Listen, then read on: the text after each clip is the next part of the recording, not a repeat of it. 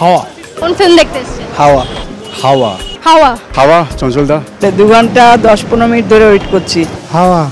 হাওয়া। হাওয়াই দেখতে এসেছিলাম। এত হাওয়ার গল্প শুনলাম কিন্তু আমরা নিজেরাই হাওয়া হয়ে যাচ্ছি। এসেছিলাম একটু আশা নিয়ে যদি দেখা যায়। কিন্তু এসে দেখলাম যে প্রায় হাজার খানেক লোক এখানে দাঁড়িয়ে আছে। স্ক্রিনিং এ হাউসফুল হয়ে গিয়েছে কি বলবেন এবার? হাওয়া দেখতে এসে হাওয়া বেরিয়ে গেছে আমাদের। নমস্কার, সমাচার প্লাস বাংলায় আপনাদের সকলকে জানাই স্বাগত।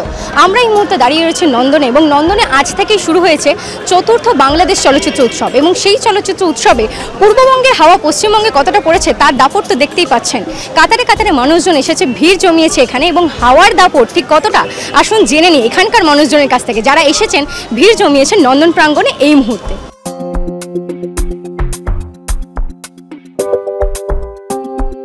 কতক্ষণ দাঁড়িয়ে আছে ওই চারটে থেকে।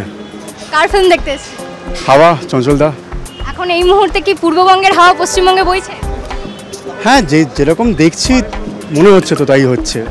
কারণ যেটা একটু আগে যেটা নিয়ে কথা হচ্ছিল যে যেহেতু মানে ওদিকের ছবি আর কি খুব মানে প্রচণ্ড রুটেড হয় সেই কারণে আর কি মানে একটা ফ্যামিলিয়ার ব্যাপার থেকে আচ্ছা এটা তো আমার সাথে হয় আচ্ছা এটা তো আমার পড়ার দাদা। এই যে একটা যে রিলেটেবল একটা ফ্যাক্টর যেহেতু এখানে এখন অনেকটাই কম নেই তাই জন্য আর কি এটা এখন দেখতে সবার ভালো লাগছে এবং প্রভাবটা ওইদিকে বেশি পড়ছে। কোন ফিল্ম দেখতে হাওয়া। হাওয়া নিয়ে এত বেশি হাওয়া কেন?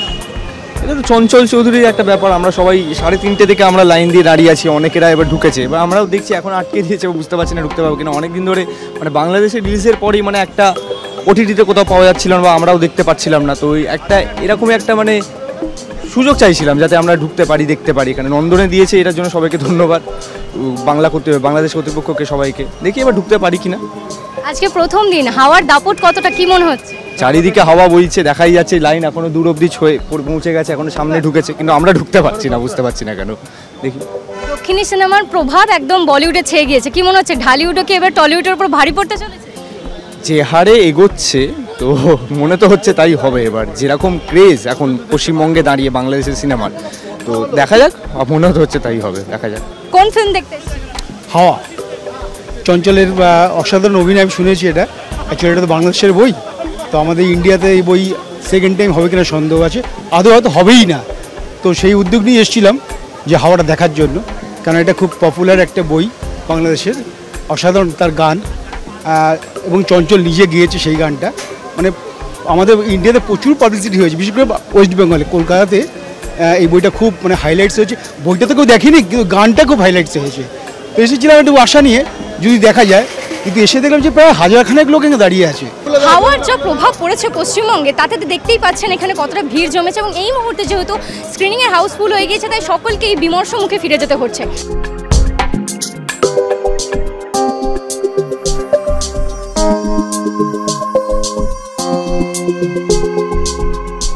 অনেক আশা নিয়ে এলাম এত হাওয়ার গল্প শুনলাম কিন্তু আমরা নিজেরাই হাওয়া হয়ে যাচ্ছি।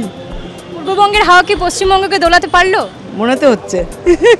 খুব আশাও করেছিলাম দেখব বলে হলো না হাউসফুল হয়ে গেছে কিছু করার নেই। আমরা তো দেখার সৌভাগ্য হলো না আজকে। কি বলবেন আজকে স্ক্রিনিং ফুল হয়ে গিয়েছে এখন আশা ভাবিনি ভেবেছিলাম দু ঘণ্টা আসে আগে এসে জায়গা পেয়ে যাব। পেলাম না এখন দেখা যাক পরের দিন ট্রাই করব আবার। দক্ষিণী সিনেমার প্রভাব বলিউডের উপর পড়েছে কি মনে হচ্ছে? ঢালি সিনেমাকে এবার নড়াতে চলেছে পশ্চিমবঙ্গের ভিড় না আমাদের আরও পরপর ভালো সিনেমা করতে হবে। কোনো একটা সিনেমা দিয়ে তো কোনো একটা ইন্ডাস্ট্রি দাঁড়ায় না। পরপর যদি আমরা ভালো বাংলা সিনেমা দাঁড় করাতে পারি তাহলে ভারতে ইন্টারন্যাশনালি নিশ্চয়ই ছড়িয়ে যাবে বাংলা সিনেমা। শুধু হাওয়ার জন্যই কি এত ভিড় নাকি অন্য সিনেমা দেখতেও আসছে? না? চঞ্চল চৌধুরীর একটা এফেক্ট আছে কারণ চঞ্চল চৌধুরীর অনেক ফ্যান কলকাতাতেই আছে। আমরাও ওনার কাজ অনেক দিন ধরেই দেখে আসছি। এবার দেখা যাক সিনেমাটা দেখার পরে বলতে পারব কেমন সিনেমাটা হয়েছে। মনটা তো খারাপ হয়ে গেছে মানে আমি ভেবেছিলাম অনেক আশা নিয়ে এসেছি। সকালবেলা দেখার কথা ছিল একটার সময় তো এখন আমি এসেছি ছটার শোটা দেখব বলে। এবার হাউসফুল হলে কিচ্ছু করার নেই। কোন ফিল্ম দেখতে এসেছিলেন হাওয়া। হাওয়াই দেখতে এসেছি ওটার জন্যই আসা এরপরে আবার নইলে আসব। এই মুহূর্তে জানানো হলো হাউসফুল এবং আজকের মতো আজকে দেখানো হবে না। কি মনে হচ্ছে? দেখা যাক চেষ্টা করি। আহ, ভেবেছি ইচ্ছে তো আছে দেখার কিন্তু যদি না হয় তাহলে আবার সোমবার আসতে হবে। আসতেই হবে। হ্যাঁ আসতেই হবে। চঞ্চল চৌধুরীকে নিয়ে কি বলব? অসাধারণ অভিনেতা। আর মনটা খুব চঞ্চল হ্যাঁ হ্যাঁ অসাধারণ অভিনেতা। আহ, তিন দিন পর পর সোম মঙ্গল বুধ সকাল দশটায় শো দেখানো হবে। প্লাস আরও দুটো করে শো আছে নন্দন টুয়ে আশা করি সবাই দেখতে পারবে। আজকে না দেখেছি কী আছে নেক্সট সেকেন্ড দিন দেখব। পূর্ববঙ্গের হাওয়া কি পশ্চিমবঙ্গকে কাঁপাতে পারছে? হান্ড্রেড পার্সেন্ট তাহলে এত লোক হয় মানে আমি তো ভাবতে পারিনি যে হাওয়াতে অলরেডি একটা শো হয়ে গেছে একটার থেকে নয়, কটার থেকে। সেই শোটা হয়ে যাওয়ার পরে এত ক্রেজ অ্যাবনর্মাল কেস অ্যাবনর্মাল আমি করে চঞ্চলের একটা বিশাল তো আমাদের কলকাতাতেও আছে, প্রচুর পাবলিক মানে ভালোবাসেন ওনাকে আর ওটা তো অসাধারণ অভিনয়, অসাধারণ মানুষ। কাতারে কাতারে মানুষ এসেছে নন্দন প্রাঙ্গণে এবং সেই সমস্ত চলচ্চিত্রগুলো কিন্তু দেখছে।